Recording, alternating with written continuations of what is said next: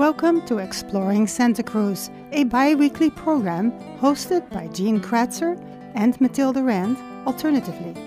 My name is Matilda Rand, and today's topic is the census of April 2020. I'm joined by Tory Del Favro and Diane Cowen. Why don't we start with both of you telling us what your connection is with Santa Cruz? Uh, well, I grew up here. Um, I work for the U.S. Census Bureau, and I am a partnership specialist with them. And uh, I have three kids. We live across the street from my parents. Uh, my kids are going to the high school that I went to. It's it's a really neat journey to be able to raise your kids in Santa Cruz County. I actually, your director here, I did Leadership Santa Cruz with him, Leadership Santa Cruz County. And then additionally, I've served on a local school board here. I just um, love the privilege of being able to raise my kids in Santa Cruz County. Wonderful. How about you, Diana? I came to Santa Cruz in 1993. I attended UCSC and just immediately knew that I was home. And um, I've lived here ever since. Work at the Santa Cruz Public Libraries.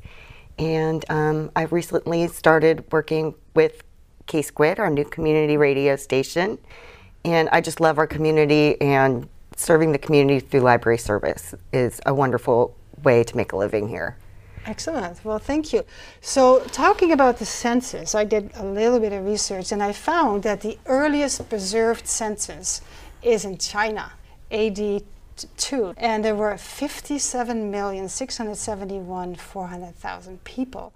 And the interesting thing is that the older census takers were really targeting particular individuals for instance, to target them for taxes, or as in the Roman Empire, target them for fitness for military service. Now that changed over time.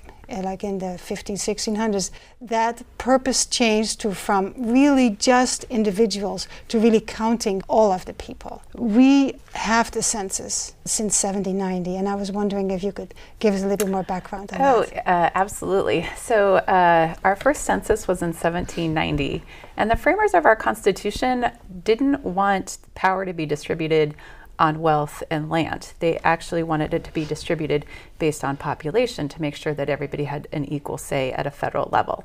So um, while you know the census is a national operation mm-hmm. censuses really take place locally and um, that's just the beauty of the census is that everyone counts you know this is another opportunity to vote because you can create political representation through the 435 congressional seats that are mm-hmm. sliced and diced based off census data of population of where people are living throughout the united states it's just a really neat opportunity because the census data comes back locally into the community. School districts are often um, their boundary lines are redone after they get the census data um, where pop, where the populations are currently residing. Um, you know, Santa Cruz is a little bit more set in stone because we're pretty um, developed out against the coast, but um, other parts of California and across the nation, you know, have had some big spikes in populations, or um, maybe there's been some migration throughout the county. Other parts of the county um, have uh, more depth, so you want to make sure that you know the supervisors that are representing those parts of the county are also um, uh, represented correctly according to the population counts in that area. Great. So you already covered a little bit about the purpose the reason why in the 20th century so much, many more censuses took place is because the United Nations thought it was very important. They actually uh, sponsor and they support uh, countries uh, where we get very little data from.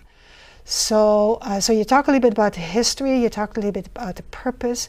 We will also talk about the um, impact, and you say a little bit on the community. And I think we can say a lot about that. And then how the community can participate besides taking the census. And, and we will talk about how the census can be taken because it is in 2020 even, even more different than it was 10 years ago. And then the final thing uh, you already touched upon was the uses of the census. So I want people at home to, to hear a little bit about what we will be discussing. Let's go back to the purpose of it. So the purpose of the census um, is to count everybody that's living in the United States on April 1st, 2020. Yeah. The decennial census happens every 10 years. Um, we count everybody living in the United States and then we report those numbers to the President of the United States on December 31st, 2020. That in turn gets worked through our federal government, and then they turn around and disperse um, what the congressional seats are, the allocations to each state. The census is just really this I mean, I, I, feel like it's just the cornerstone of our democracy, right? It's right. about people, right? And it's about people having fair representation at a federal level. And, you know, you think about, we are an apolitical agency, but you think about um, how many votes have come across with one or two votes from the House of Representatives making a decision that mm-hmm. affects the entire fabric of our country. Right. And so, you know, to make sure that there's a full and accurate count across the United States and make sure that our political representation is appropriated correctly is just, again, the cornerstone of our democracy. Right.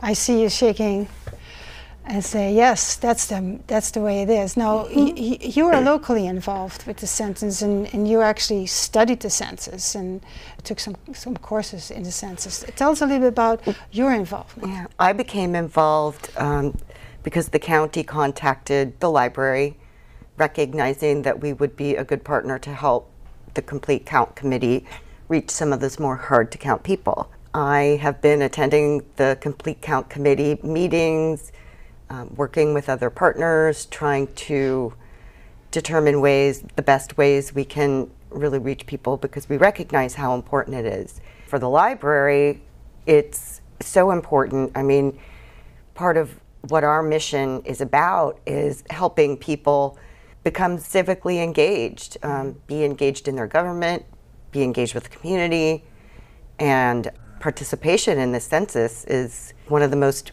important pieces of civic participation that we can have, you know, just to be counted and to get that representation. And I think there's a website called Santa Cruz. Oh, yeah. There's a website called Santa Cruz County Counts.us. Um, and I just want to uh, expand a little bit more on right. the complete count committee that's happening here in Santa Cruz County.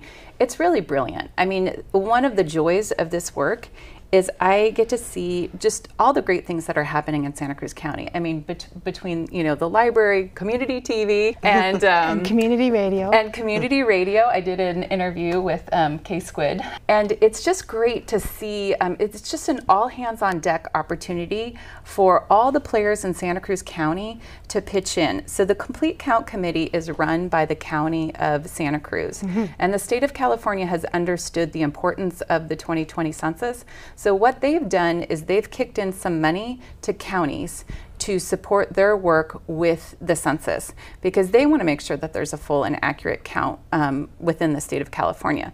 So the county governments have gotten um, some seed money um, mm-hmm. to get these these operations going, and the Complete Count Committee is just this beautiful cross section of all groups in Santa Cruz County. You know, it has education. There's an immigration subcommittee. There is a um, unhoused subcommittee. There's a higher education subcommittee. So they're really working to make sure that we're hitting all the pockets in Santa Cruz County. Mm-hmm. And the crux of that is to make sure that we have the trusted voices in the room that connect, connect with those people in the hard to count populations, whether it be somebody that's um, economically insecure at the time, or maybe a recent immigrant, or maybe somebody that's subleasing a home mm-hmm. that you know they potentially don't want the landlord to know that there's multiple families living in there so it's like who do we touch and find in the community to um, make sure that we're corresponding with the right voice to connect with the people to share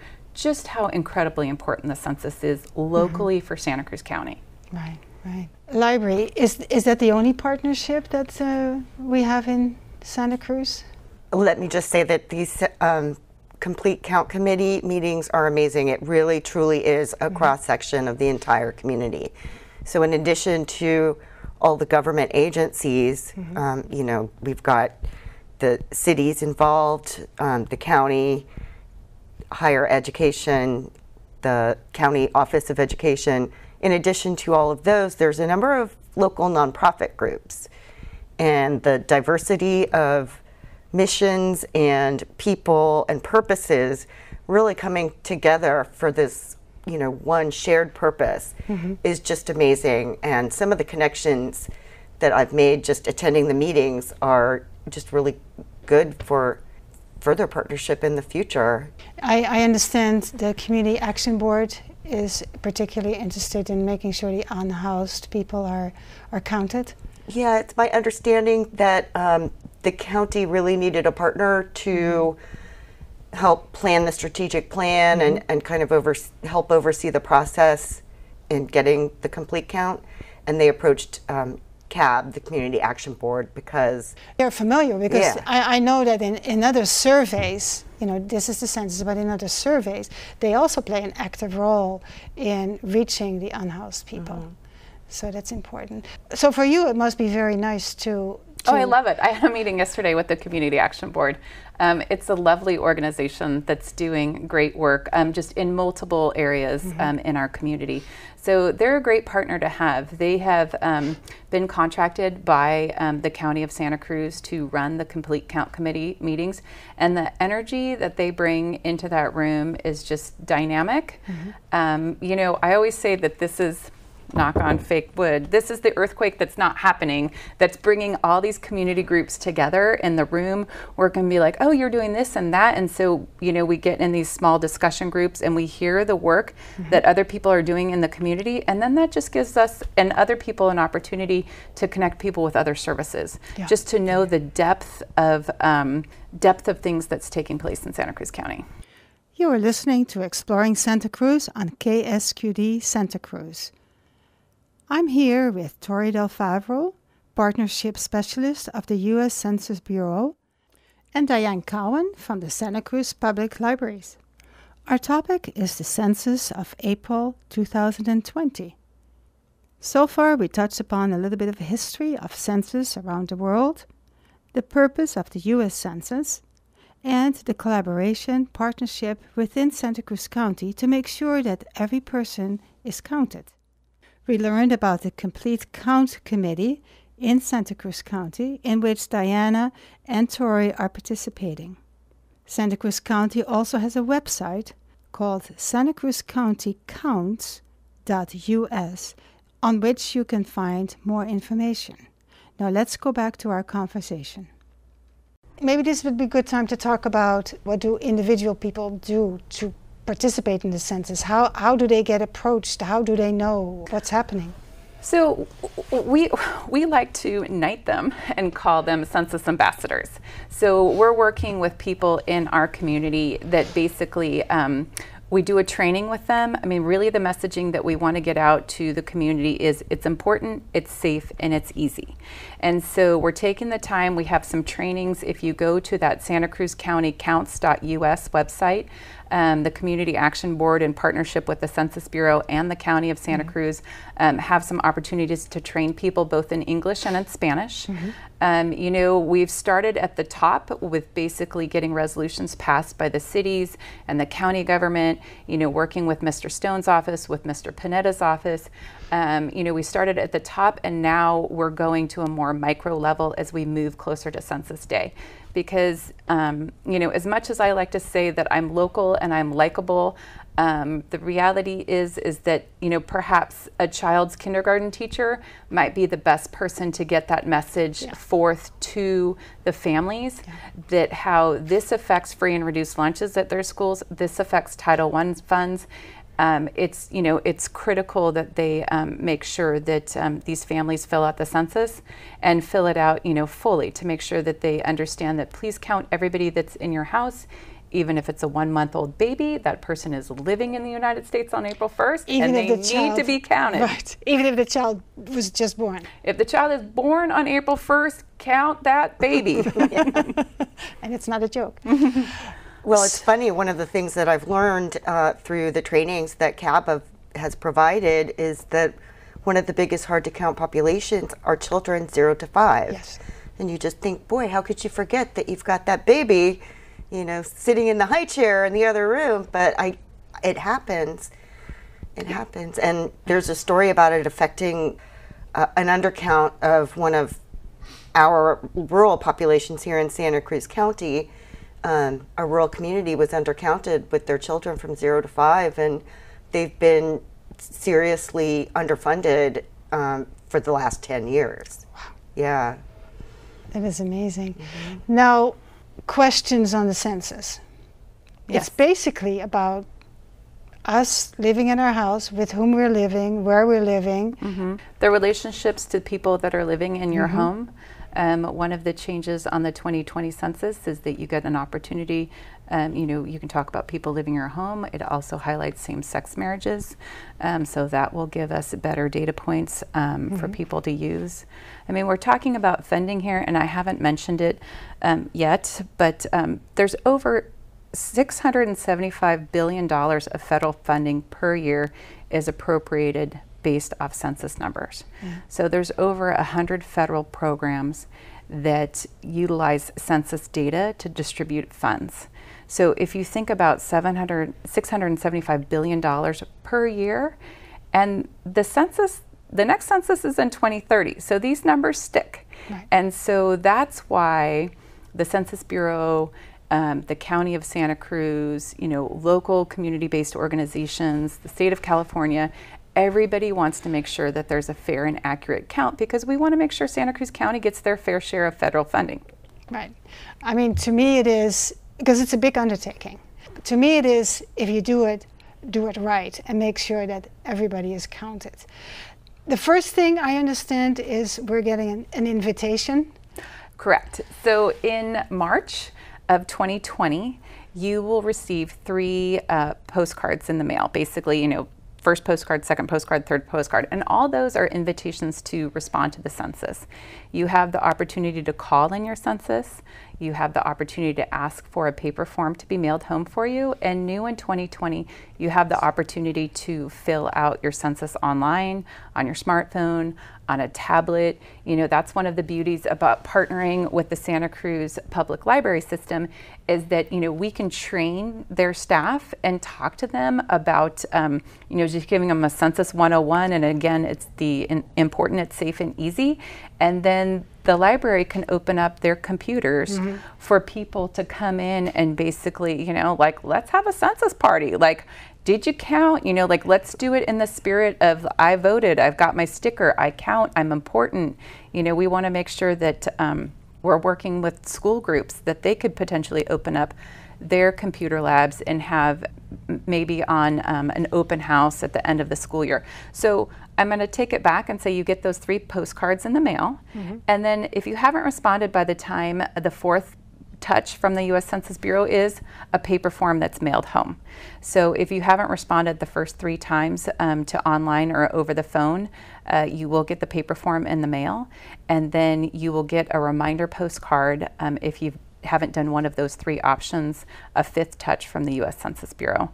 Uh, and we we really are encouraging people to self respond to the mm-hmm. census. It's critical for our operation that people self respond. Um, if they don't do that, again, everyone counts. So that's when our non response follow up operation will head out into the community and start knocking on doors. So, what kind of preparation are you doing at the library to do what she's asking? Yeah, right now we're just uh, mostly training staff so that they're able to act as trust, trusted messengers and deliver the, you know, that it's safe, it's easy, and it's mm-hmm. important. So that's kind of where we're at right now. Right. As we get closer to the census, we will probably do some programming around the census. Mm-hmm. We'll be having a display in all of our branches for at least four months leading up to the census with all of the information and handouts and things that just inform people that it's coming. And then after people receive their, their cards in the mail, we'll um, will be a place where people can come and we'll be promoting. And of course, your role as communications manager is important in this aspect. That's why you're heavily involved. Yes, it is yeah. because it's going to, a lot of those hard to keep, count people are in the library. Right. And we want them to know that we're the place, come do it here, our staff can help you. Now, obviously, it takes a lot of people. I mean, yes, we have staff in library and all that. Um, jobs available for people? To Oh, absolutely. Um, it, it's, the census is basically the largest non military operation that the United States does. So there will be hundreds of jobs available in Santa Cruz County. People can apply on our website, uh, 2020census.gov backslash jobs. Uh, it's a pretty short application. Uh, we want to let people know that they're putting their application into a pool. And obviously, we don't know what our non response follow up operation will look like until we find out how many people will respond to the census self respond. So there's a little bit of a lag in there, and we want to communicate that with people. So if they're like, I haven't heard anything, it's not because you're not wanted, it's just that we don't know exactly how many people that we need to hire. Um, additionally, I would like to say that our address canvassing operation is starting right now and will run through October. And we will have um, address canvassers out in the community confirming addresses. We all know that there's some hidden housing, you know, throughout Santa Cruz County. And again, everything that the Census Bureau takes in is confidential. We do not report hidden housing to the County of Santa Cruz, to landlords, to to anyone. We do everything that we observe and the data that we receive is confidential, and we do not share it with any other agency. Um, I wore my badge today because I do want to highlight that our address canvassers or our non-response follow-up, the enumerators, you know, they will have a badge on them with their photo. It says Census Bureau. It will have a watermark. And additionally, we work with law enforcement to let um, law enforcement know who's out in the community from the Census Bureau to make sure that everybody understands um, what Census Bureau employees look like and they know if they see somebody with this badge and a black bag that says the Census Bureau on it, um, that they are staff and that they should um, open up the door and talk to those folks. Right. I mean, it's it's for their benefit to open up the door and respond to people. So I'm glad that you brought that up uh, because I've heard some feedback on social media and Nextdoor that people have been seeing some of these address checkers and been very confused about what they're doing there. Why are these census people doing counting already?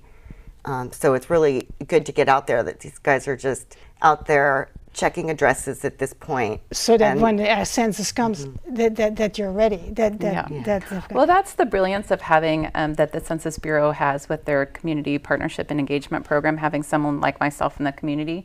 So, you know, there was that chatter of like, hey, um, of people out in the community. So I instantly turned to Jason Hoppin, who is the communication director for the County of Santa Cruz, and he posted on Nextdoor a video from the U.S. Census Bureau of what our address canvassers look like um, what our badges look like, you know, what bags that they're carrying. So it's like instantly an opportunity to um, pivot.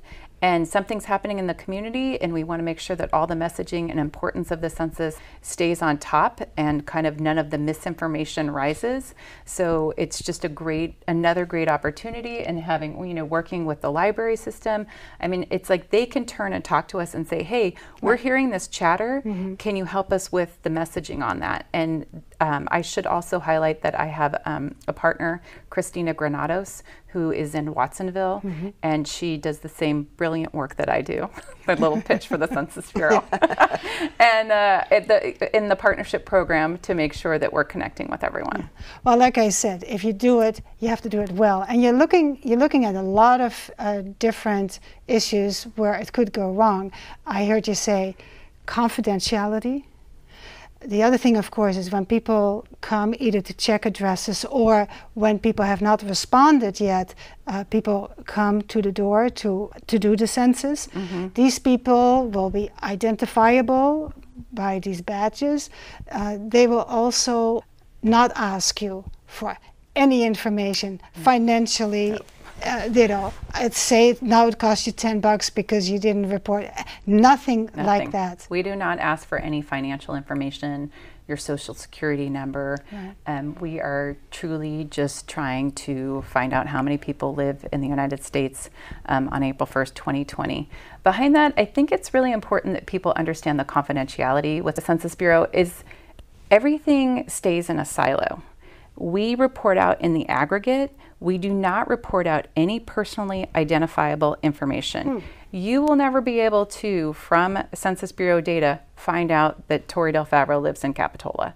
That doesn't come out that, with my census data. So um, people need to also understand that we do not share any information with any other agency. Local law enforcement, we do not share any of your personal, personally identifiable information with ICE, FBI, anyone. We um, report out in the aggregate. Let's finish up because we have just a minute or so left. Let's finish up again. What's the use? What's the purpose? How is that that 675,000 675 billion. billion. Yes. You see, you know, it's, it's incomprehensible the amount. Uh, what's it what's it doing? How, how do we benefit from it? So one minute and then. Well, you know, I don't think anybody in Santa Cruz County will say that we need less federal funding. Right. So that $675 billion, um, we want to make sure that Santa Cruz County gets their fair share. The goal of the Census Bureau is to have a full and accurate count of the population of the United States for political representation. And beyond that, those numbers are used to distribute federal funds. So we just want everybody to know that they count. It's important, and everybody truly does count. And that's where I think the beauty of the census is. Well, I definitely think that Diane Cowen, Tory Del, Del Favro, and I count, so we will participate in the, in, the, in the census. Yeah. And thank you so much for being here and shedding a little bit of light. Uh, when people have more questions, uh, they can contact you at um, tory.s.del.favro at 2020census.gov. Thank you so much. Thank Thanks you for having us. We appreciate it. And thank you to our listeners on KSQD 90.7 FM, Exploring Santa Cruz, a biweekly program by Jean Kratzer and Matilda Rand. Today we discussed the 2020 census coming up on April 1st in 2020. To recap some of the contact information, the website for the Census Bureau is 2020census.gov.